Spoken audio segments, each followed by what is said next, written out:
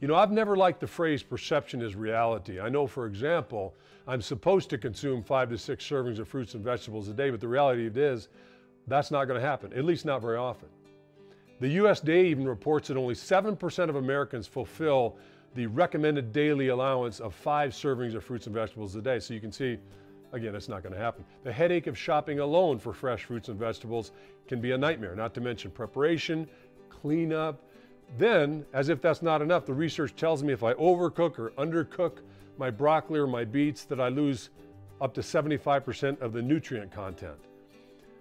WA Greens Infusion is a convenient way to receive all the nutritional benefits of six full servings of fruits and vegetables in one small scoop. I talk about the power of powder, while the power of green powder is staggering in what it provides.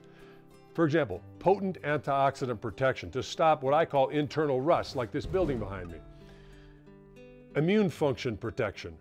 It helps stop premature aging and increases oxygen carrying capacity of the blood. We include freeze dried probiotics for digestive health.